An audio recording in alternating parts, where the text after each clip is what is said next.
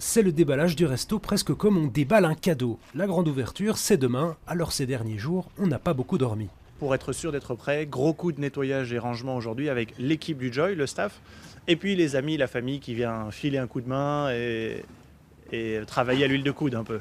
Certains sont là depuis tôt ce matin, d'autres arrivent au compte-goutte. Petit debriefing pour commencer. Je te propose, parce qu'on est un peu, dans, on est un peu tous sur les, les chapeaux de roue, c'est de faire le tour, de reprendre tes marques avec le restaurant.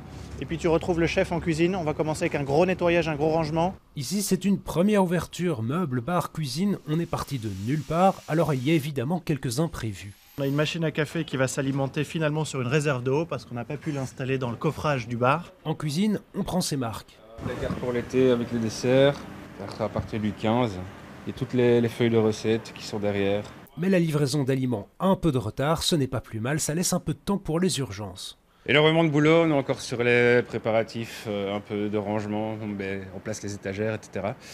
La première commande arrivera ce matin. Évidemment, le plus important, c'est dehors, la terrasse, avec ici beaucoup d'espace. On est sur euh, de la belle terrasse là. On prévoit d'accueillir euh, pour commencer à peu près 80 couverts tenant compte des distanciations. C'est une terrasse belge par excellence. On profite du soleil et comme toutes les heures à peu près on a une averse, on bascule sous le préau et on peut encore préserver 50 couverts à l'abri euh, des averses. En tout cas, on a finalement trouvé une solution pour la machine à café et elle va être bien utile dès aujourd'hui parce que la nuit prochaine risque à nouveau d'être très courte.